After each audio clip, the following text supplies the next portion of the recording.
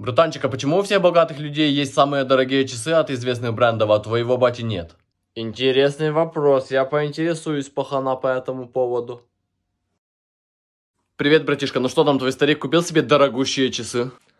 Да, но чтобы не подумали, что мы бедные, то он создал свой бренд часов. Теперь в мире все пользуются новыми часами. Пахан Watch.